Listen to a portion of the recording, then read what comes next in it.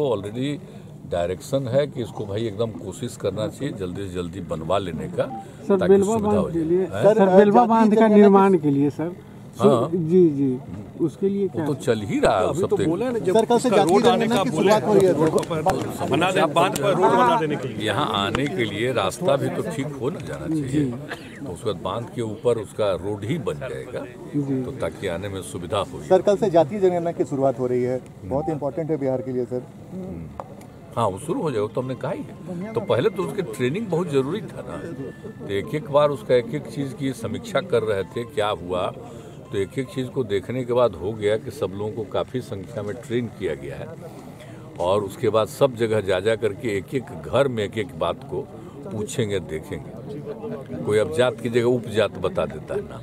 तो वही ना बगल वाला बोलेगा तो ही उसको फिर समझा करके कि भाई देखिए तो इसी तरह से, क्योंकि उपजाति लिखा जाना तो ठीक नहीं ना है। जाति लिखा गया तभी ना संख्या ठीक से होगा। तो इस तरह से एक एक चीज़ सबको समझाए हैं।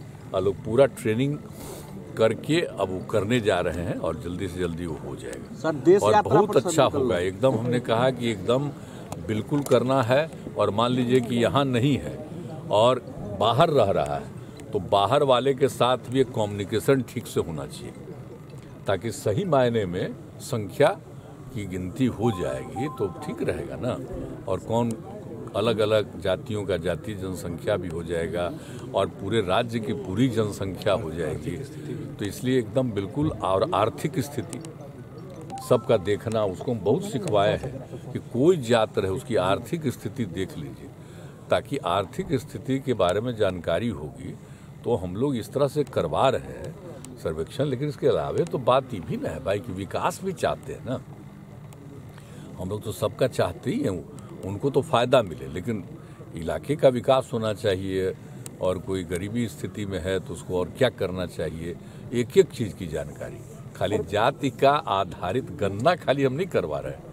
पूरा का पूरा ऐसा सर्वेक्षण हो जाएगा ताकि एक एक चीज़ की जानकारी सरकार को हो जाएगी कि और क्या क्या काम करना चाहिए ताकि सब लोगों का विकास हो जाए। सर राष्ट्रीय स्तर पे भी चाहते हैं कि जातिगत जातिगत वो तो हम लोग चाहते ही थे तो लोग एग्री नहीं किए तो हम लोग यहाँ करेंगे और यही नहीं कर रहे एक एक चीज़ की जानकारी ले करके हम लोग करेंगे और यहाँ जो भी होगा तो हम लोग तो इन्फॉर्म कर ही देंगे कि यहाँ का यह स्थिति। अगर इसी तरह से करवा लीजिए चलिए। देखिए देश के विकास के लिए और समाज के हर तबके के उत्थान के लिए बहुत फ़ायदा होगा।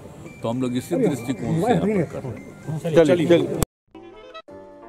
अगर आपको हमारा वीडियो पसंद आया हो तो इसे लाइक करें सब्सक्राइब करें और साथ ही बेल आइकन दबाना ना भूलें।